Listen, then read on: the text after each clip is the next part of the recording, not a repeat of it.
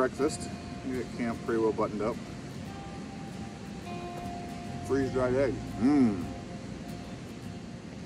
Anyway, I'm going to finish breakfast and uh, throw the canoe in. Hopefully, after yesterday's uh, bouncing off that rock, that big gouge I put in it, hopefully isn't taking on any water. It didn't seem to be yesterday. I was watching it you know, for the last little bit when we were piling in. Seemed alright, but a little bit nervous nonetheless.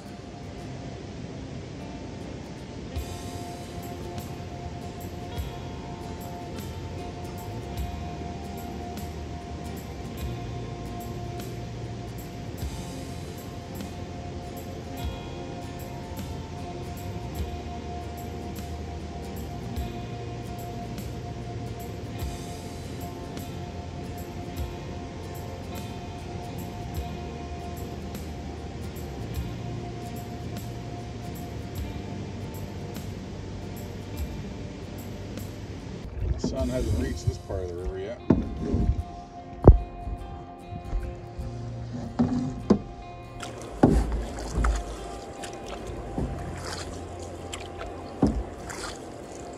I think it's about 8.30 or so. Uh-oh. Hang on. I've got a bead of water running down the length of the boat here. That gouge I put in it yesterday is seeping water in a little bit. It seems, I mean, it's not sprouting water or springing, it's not spraying through. It's more just slowly seeping in, but I'm gonna have to keep an eye on it. The boat bailed out. Happens, right? Kind of a piss off, but own. Just trying to avoid portaging and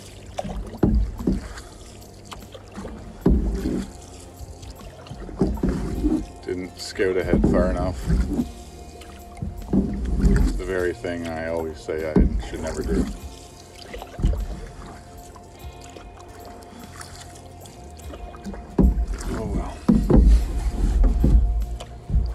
Might end up with wet feet, wet legs, wet knees. Hey, I've been wet before.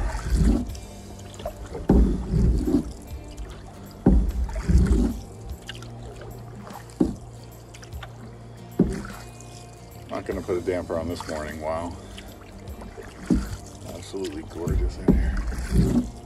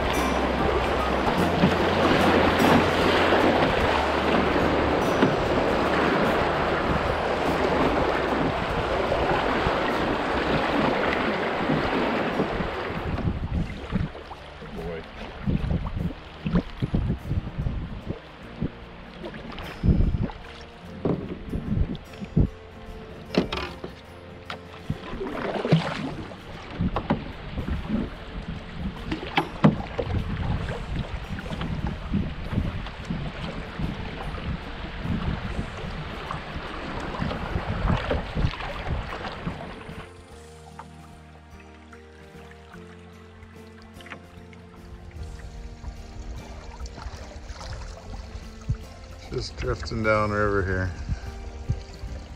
There's an absolutely beautiful cliff.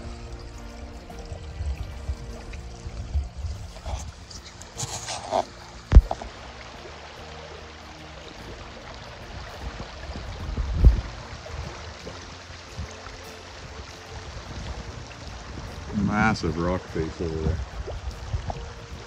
Huge. Just catch a glimpse of it through the trees.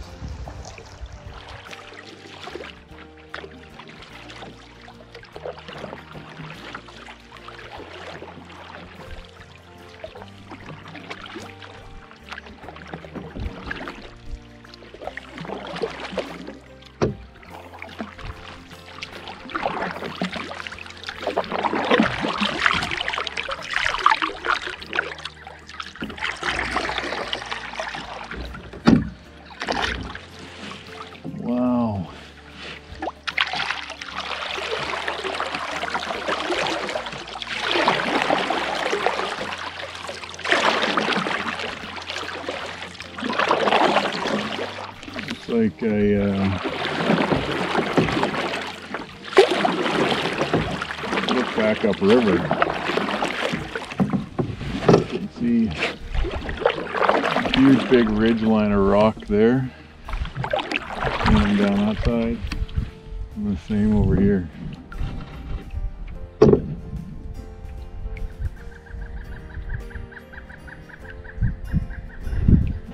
Woodpecker's going at it. Massive cliff there.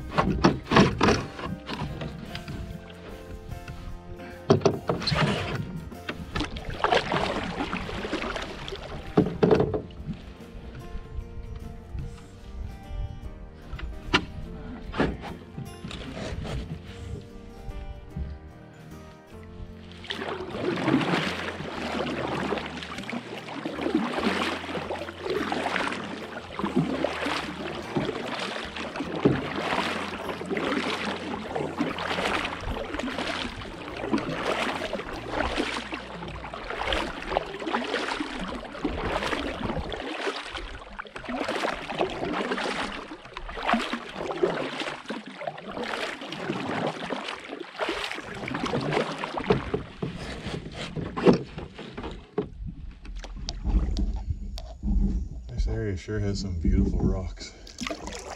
Rock features.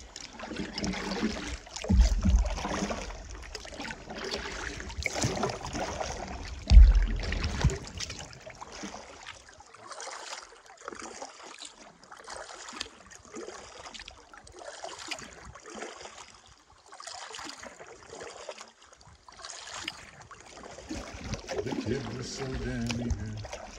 It was all so big and new. Never had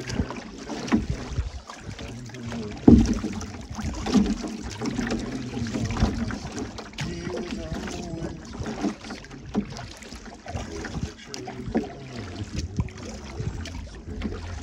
Let's see if we can zoom in here a little bit. Yeah, you can really see the colors coming on that hill now.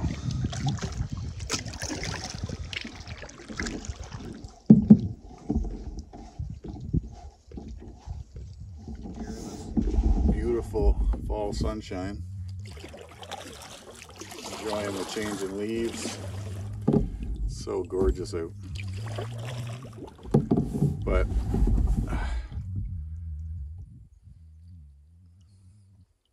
good news is the boat doesn't seem to be taking on any more water. So I don't know if the material swelled a little bit and it's holding now. But there's you know a bit of dampness in here but it's not filling up i mean if it was continuing to leak i'd have water all around my feet right now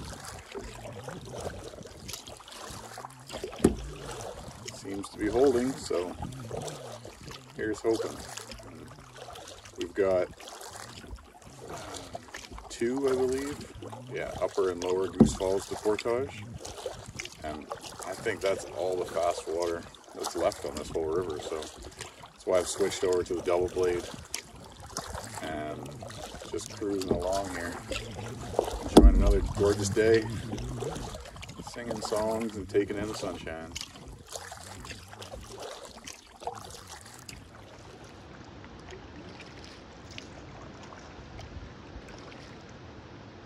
Upper Goose Falls.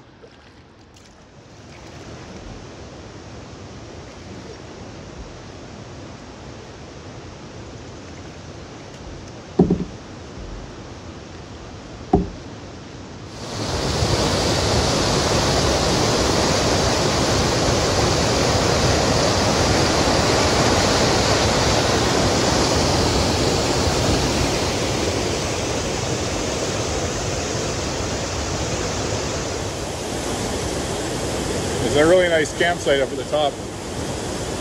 But way too early for that. Campsite here. Right at the brink of the falls.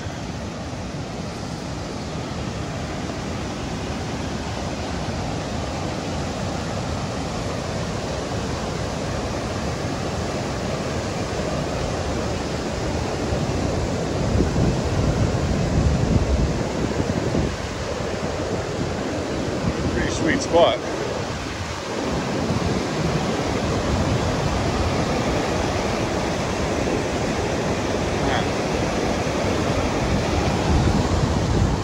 Get out of there. Dog jumping in the water at the top of the waterfall. I guess he doesn't know any better.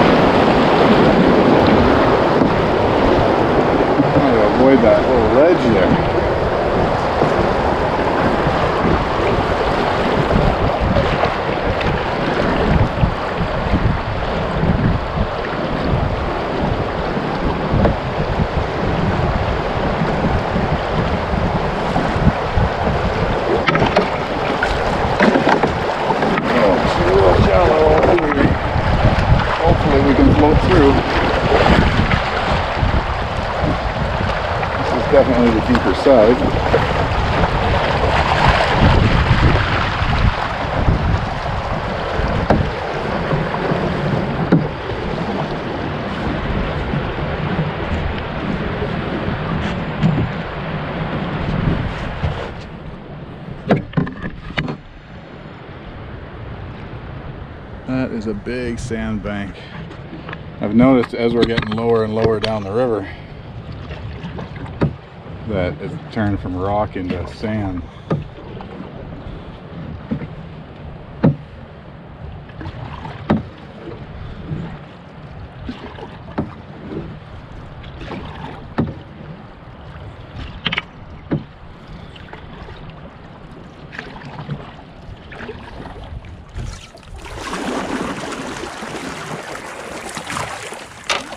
Let's go to the outside here. That bank just continually eroding. Trees dropping down.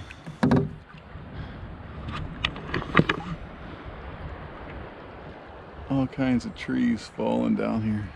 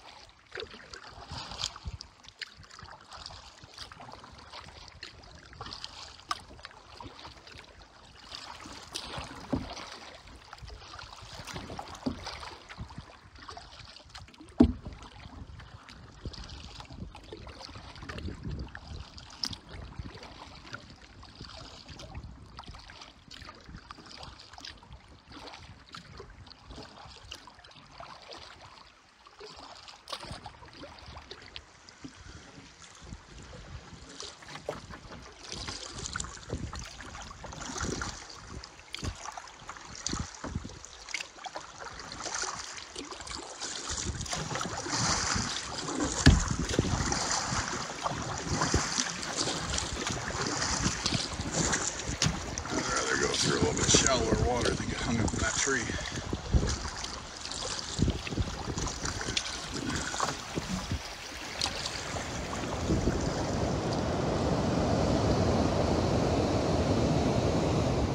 There's all these little flies out now. It's really warm. It's got to be mid 20s or so. We just carried around Lower Goose Falls and um, carry on downriver. It's uh, there's been the two waterfalls in the last couple hours to break the monotony, but other than that, it's sandy, eroded banks and mostly flat water. Know, the odd little swift here and there, and apparently it gets even flatter from here on out. This is the part of the river that uh, I'm actually kind of the most apprehensive about, honestly. And just because uh, it's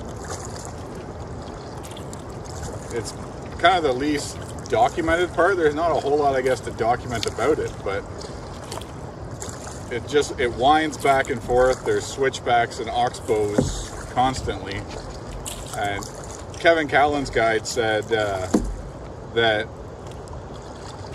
like him he when he camped down here he didn't even know where he was. They just camped on a sandbar which is fine. You know if it comes to that. But the I'm a little nervous about trying to find this portage I don't want to end up going too far down river and there's not really any good indicators you know to use the map where you can prepare yourself for what's coming up, you know, you can anticipate a little bit. So if I miss that portage, I could paddle right into Sturgeon Falls. But anyways, I'm hoping that it's marked. Uh, I'm not that confident because most of these, I mean, that one around the falls there, obviously there's going to be a portage there, but there's one piece of flagging tape hanging on a tree. So you know, I understand these are less maintained routes and I just don't want to miss it, that's all. I'm hoping that there's a sign or some flag tape or something, you know, maybe somebody's put there. Um, but we'll see. I don't know if we'll get down. It's a three and a half carry, three and a half kilometer carry, and I have no intention of doing that tonight. But if we get close to it, or even I'd, I'd camp. It's apparently an abandoned homestead. Uh, so I'd camp there if uh, if we make it that far. It's just after 12 now. Maybe, maybe 12.30 by now. So, we'll see We'll see what happens. Came around the corner, I can just hear rapids. Uh oh, what's that? Turns out to be that. Tributary flowing in.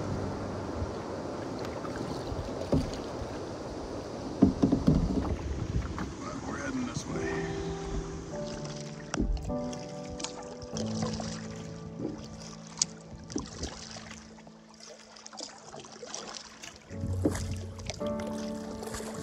Been going pretty steady. It's, uh, I think, around 4.30 or so now. Maybe quarter to 5. But I was able to, uh, I've got actual topographic map. I don't know if you can see that in the sun.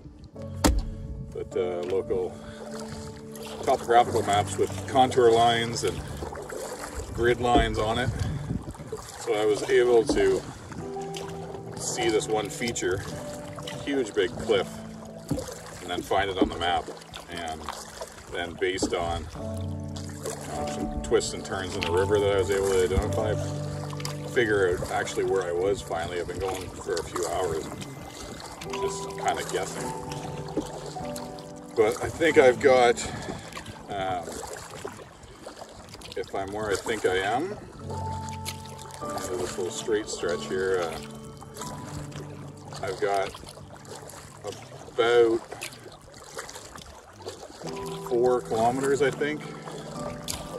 Maybe five, depending on the terrain and some of these elbows in the river. The river literally just does this in places. It's, it snakes right back on itself. It feels like it could almost, you know, be shorter to portage over if there wasn't so much brush in the way.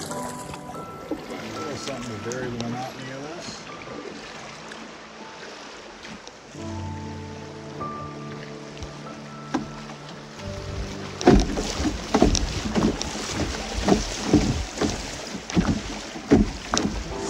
Nothing too exciting was a coop. But the good part of that is, I believe that's marked on the map. On Hap Wilson's Temagami map anyway.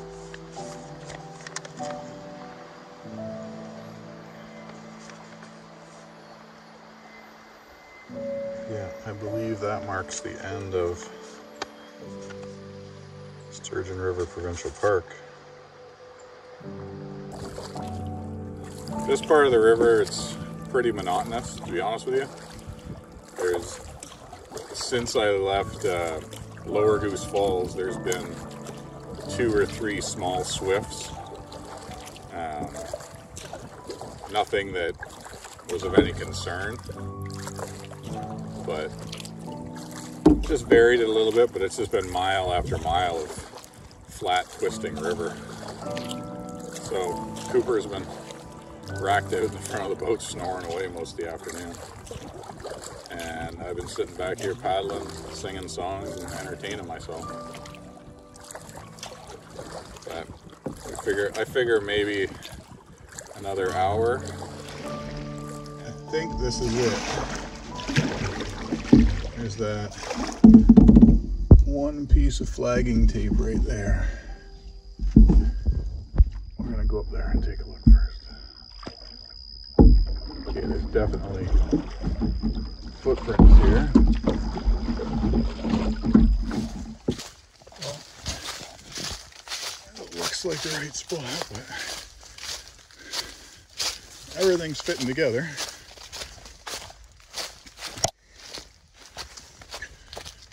Supposed to go up to the old Kelly Farm homestead.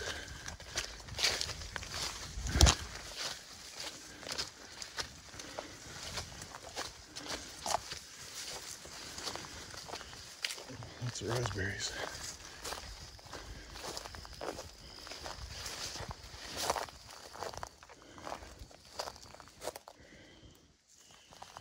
Okay, there's a trail going that way. And one going this way.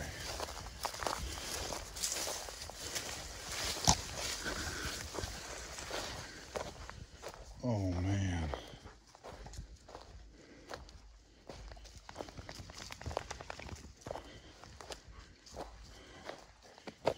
You gotta be kidding me.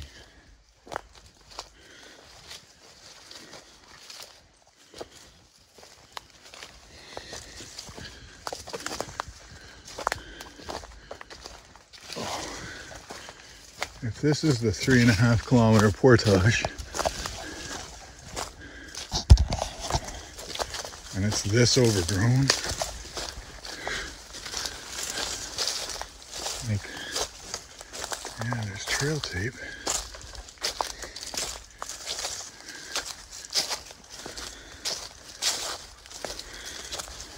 I don't really need to be scouting all this tonight, but we're going to stay at the top of the hill back there. It's opening up a little. My Ottertooth um, map said this trail was long and it goes uphill, and but it's like open and clear, follows a clear logging road or trail.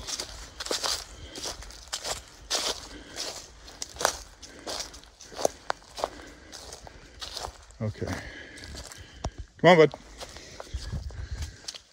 That's far enough for tonight. Okay, we gotta go back and get camp set up and we'll decide what to do with these portages once we get some food into us and some I'm kind of get squared away. Well, we're gonna camp here tonight. It's really, uh, you can see it's it's pretty small. There's not much, but figure something out. I'm not going any farther tonight. We'll figure out what we're gonna do after we get supper on. I gotta bring all our gear up that slope. So it's pretty steep. Gotta get after it. It's 5.30 now. So have a good day, buddy. Oh, I'm running bug spray anything. Let's get the fire going. Mosquitoes out here. Oh. Don't often see mosquitoes at the last week of September. Today's warm weather really brought them out.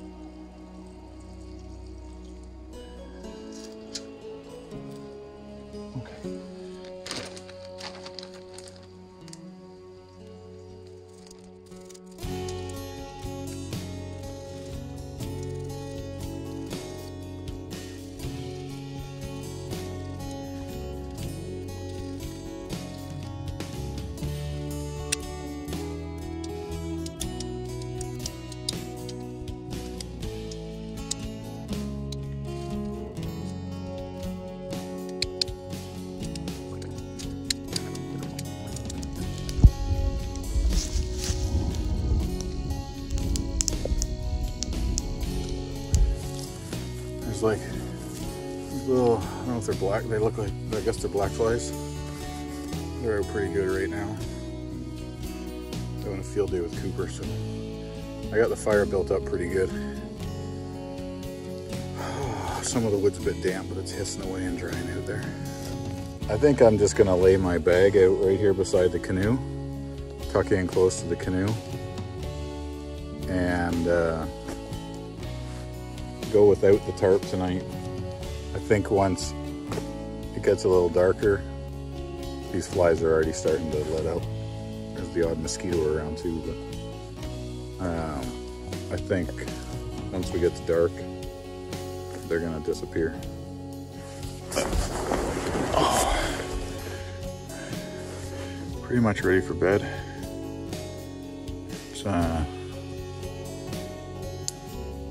Almost 7.30. So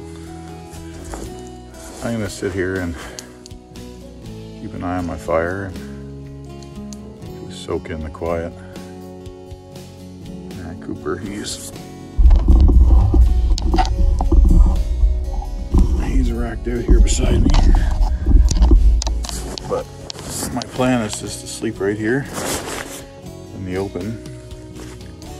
Um, it's a fairly clear night, the moon's out, so but I've got my tarp right beside me and if it does start to rain, I can uh, I'm gonna rig it over top of the canoe.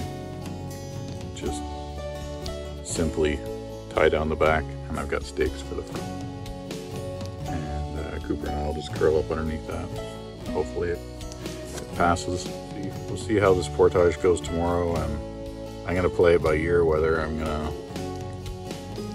push back to the truck or if, if this portage really does suck the life out of me tomorrow, which based on the way it looks, it very might, very well maybe a, a tough slog to get through to the next lake. But again, I don't have to worry about that till the morning. And uh, yeah, we'll see you then. Just after seven. And it's really clouded over in the night. We get packed up here. Hopefully it doesn't start raining. Hey buddy.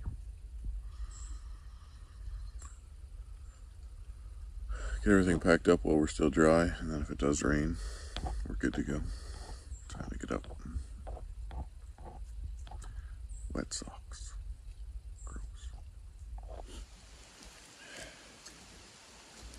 Pretty much got everything packed up. This is the warmest morning we've had. It's significantly like yesterday you could see your breath till nine o'clock. But leaves are drifting down everywhere around us. And it's time for some oatmeal with blueberries.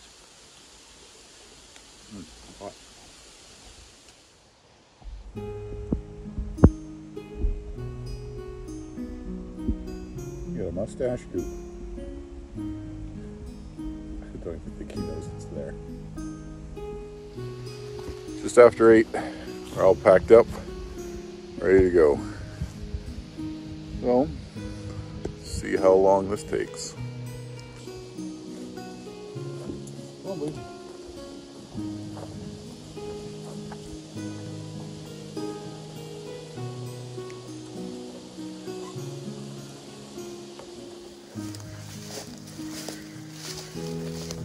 Something already.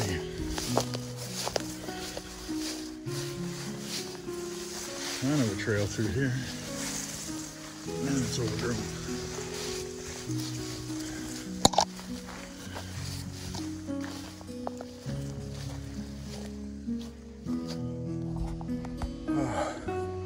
This is a tough slog. Uh, you can tell this pile of rocks is man-made. Part of the old homestead, clearing fields, I guess. Uh, look back here. You look through there, not much of a trail, is there? And then occasionally, there's something like that. So, we're gonna take that and tie it up on this tree a little higher. It looks like the trail goes through there, but man, you can spend a week in here just clearing brush. There's so many down trees and it's so overgrown. It's a pretty rough trail. But if this was the wide open trail that the map suggested, saying this was the wide easy way, but it's longer, I can't imagine what the other way was like. Unless a lot more people are using it. Which could be the case. Maybe I'm the idiot. Look at those leaves behind me. Stop and take a look around, it's still beautiful, even though you're struggling.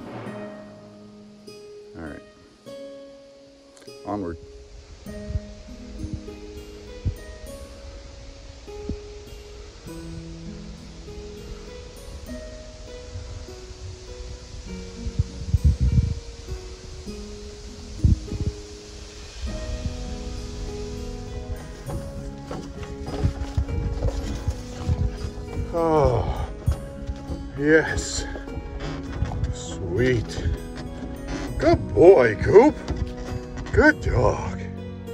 Oh, I'm absolutely soaked. That took us uh, about an hour and a half across. We stopped for two short breaks. That trail is hell for the first thousand meters or so. It's just hard to follow. It's obscure, not well cleared or marked. Um, so But after the first thousand, it's overgrown. There's lots of brush hanging over, you know, banging into the canoe and everything. But it's much easier to follow after the first thousand or so meters. But we're here. Get on the lake, get some water. There's a nice breeze blowing.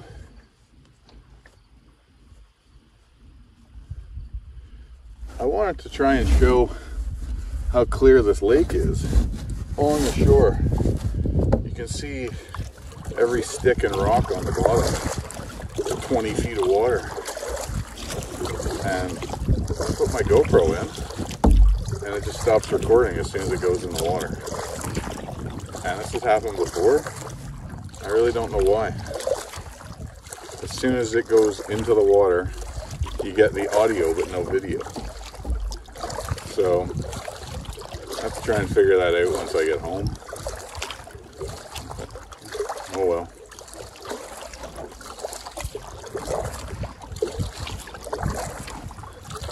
I feel like we're gonna come out of this bay and we're gonna hit the wind. We've got to cross the width of this lake. Canoe's still holding up. It's there's a little bit of water still seeping in through that gash, but it's holding together okay.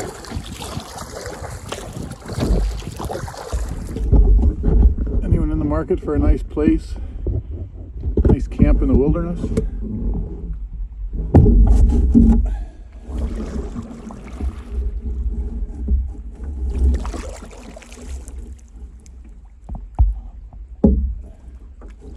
Little fixer upper.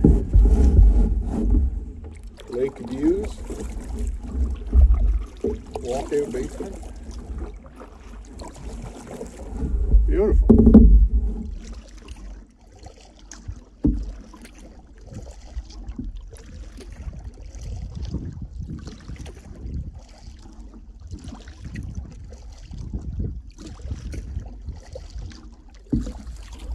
Three more short portages will put us back on Matagamasi. And hopefully we can find the pictographs on Matagamasi. It's supposed to be, the, the map says it's the second largest site for pictographs in Temagami. So hopefully we can find them. Finding stuff like that. Good thing.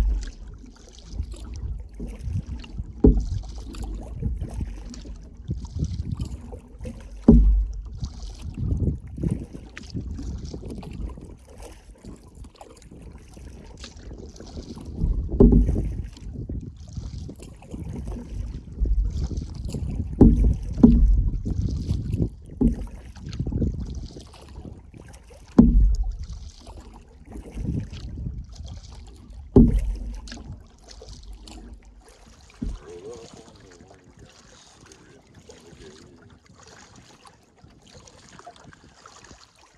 The kid was so damn It was all so big and new.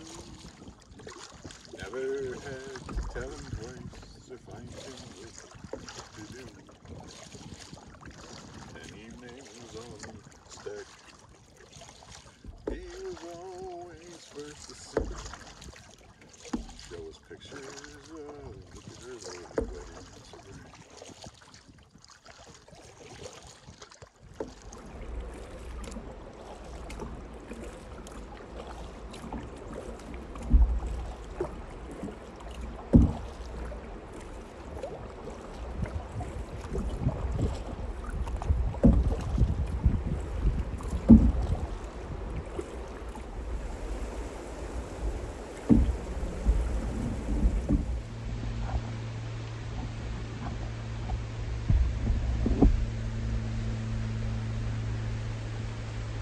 Pretty sure that's a bald eagle.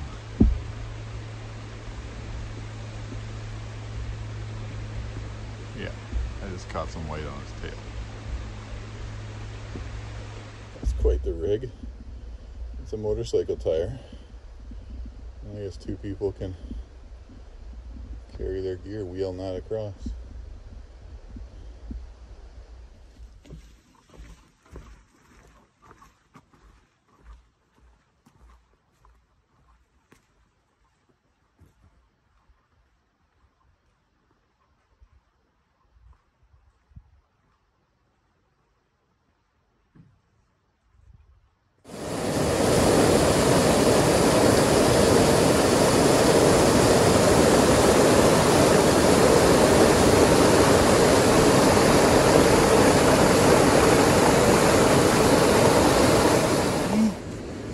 a good boy. Oh, oh, you're a good dog. Yes.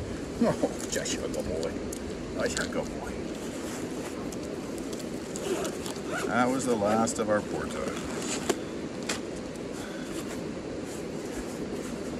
So we're sitting here, the sun's come out. Beautiful. Just gonna have a little bite of lunch. A wrap left, so scarf that. And a few strips of Ready Crisp. Yes? Come here. Come here.